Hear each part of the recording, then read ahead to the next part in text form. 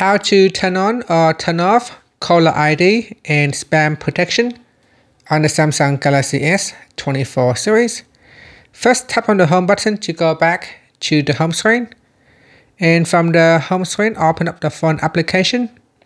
Next, tap on the more button at the top. From the pop-up, tap on settings. Now in the call settings page, tap on caller ID and spam protection. Tap on the toggle button to switch it off or turn it on.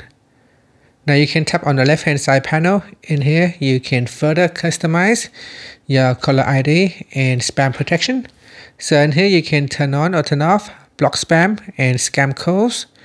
In here, you can choose to block all spam and scam calls or only block high risk uh, scam calls. And that's it. After you can tap on the back key or tap on the home button to go back to the home screen. Thank you for watching this video. Please like and subscribe to my channel for more videos.